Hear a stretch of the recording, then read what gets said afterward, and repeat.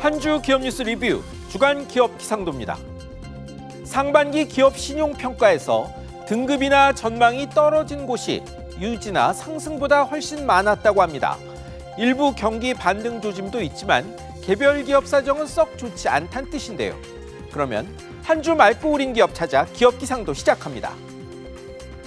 첫 맑은 기업 삼성전자입니다. 반도체 살아난다더니 2분기 영업이익이 1년 전 15배 넘게 불어났습니다. 인공지능 시장 커지며 반도체값 올라 잘 될 줄 알았지만 영업이익이 증권사 평균 예상 8조 2천억 원을 훌쩍 뛰어넘는 10조 4천억 원. 1년 전 대비 증가율로는 자그마치 1452%입니다. 앞서 1분기에 5분기 만에 흑자낸 반도체가 최소 6조 원 넘는 이익을 낸 것 같습니다. 제품값 오르니 전체 매출도 74조로 23%나 뛰었습니다. 실적 호조는 이어질 것 같습니다. 다만 그 폭은 고대역폭 메모리, 주문형 반도체, 파운드리 등 아픈 손가락을 어떻게 빨리 고쳐 나가느냐에 달려 있습니다. 다음은 한화 오션입니다. 주초 2조 원대 대형 선박 건조 수주하면서 올해 들어 반년 수주액이 작년 연간을 훌쩍 뛰어넘었습니다. 중동에서 액화 천연가스 운반선 또 초대형 유조선 내척식 수주했는데 금액이 2조 1천억 원이 넘습니다. 상반기 수주액이 53억 달러, 작년 1년 수주한 35억 달러보다 한참 많죠. 한 주 전엔 미국 해군 함정 많이 지어온 미국 필리 조선소 인수 발표에 미 해군 장관 환영 성명까지 있었습니다. 조선업이 수주하고도 일할 사람 부족해 어렵다는데 이 회사는 장기간 금융권 관리하에서도 살아남은 저력 덕인지 강하게 뻗어나가는 모습입니다. 이제 흐린 기업입니다. 호된 신차 신고식 치른 르노 코리아로 시작합니다. 홍보 영상에서 이 회사 여직원의 특이한 행동이 네티즌들에 포착된 게 시작이었습니다.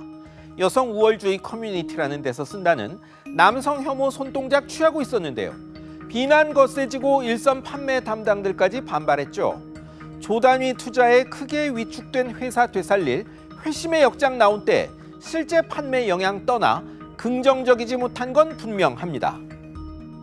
해당 직원은 직무 금지됐고 스테판 드블레즈 사장은 재발 방지 약속했는데요. 개인이 아닌 회사의 신차 소개 영상에 이런 게 왜 들어가야 했는지 정말 궁금합니다. 이번엔 CJ ENM입니다. K-팝 공연장과 스튜디오, 상업시설 등으로 30조 원 부가가치 창출한다던 대형 사업이 물거품됐습니다. 경기도 고양의 32만 제곱미터 부지에 2조 원 가까이 들여 조성하는 사업인데요. 이를 지원했던 경기도가 CJ와의 협약 해제했습니다. 공사비, 금리 뛰고 행정 지원 미비 겹쳐 이미 작년 4월 공사 중단된 상태인데요. 이게 누구 책임인지, 또 거액의 지연 배상금 어떻게 할 것인지 등 경기도와 CJ 간 갈등에 정부 조정안도 성과가 없었습니다. 경기도는 공영 개발로 재추진할 방침이라죠. K 콘텐츠의 국가전략 산업화 계획 따라 추진된 사업인데 안타깝습니다. 그런데 계약 해제 다음 날 카카오가 운영 맡은 서울 창동의 K-팝 시설 서울 아레나는 착공 들어갔습니다. 다음은 BNK 경남은행입니다. 대규모 횡령 사건 후 폭풍에 성과급 토해내게 됐습니다. 기업 대출 위장한 경남은행 간부의 3천억 원대 횡령 사고 기억하십니까? 뒤처리 중인 은행의 이사회가 2021년부터 2023년까지 직원 성과급 중 일부 환수 의결했습니다. 손실 반영에 재무제표 수정했으니 잘못된 실적 근거로 준 성과급 반납 불가피하다는 겁니다. 그 성과급은 부당이득인 셈이고 안 돌려받으면 배임될 수 있다네요. 2천 명 넘는 전 임직원이 대상입니다. 액수가 거액은 아니라지만 은행도 직원도 난감할 것 같습니다. 마지막은 한미약품 그룹입니다. 연초 불거졌던 창업주 부인과 딸 모녀 대 장차남 간 경영권 분쟁이 재연 조짐을 보입니다. 주총에서 밀렸던 송영숙 그룹 회장과 장녀 임주현 부회장이 장남 임종윤 이사, 차남 임종훈 대표 편이던 개인 최대 주주 신동국 한양정밀 회장의 지주회사 한미사이언스 지분 6.5% 팔고 의결권 공동행사 전격 발표했습니다. 모녀 측은 우호 지분까지 절반 가까이 확보해 장차남 승리했던 구도 뒤집고 상속세 낼 돈도 확보한 겁니다.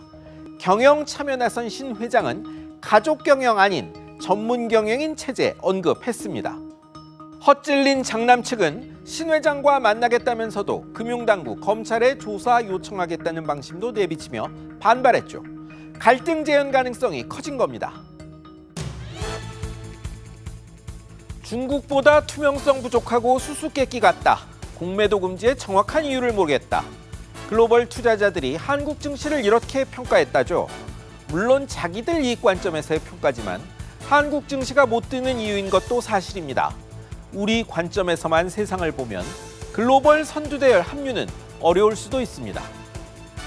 지금까지 주간 기업 기상도였습니다.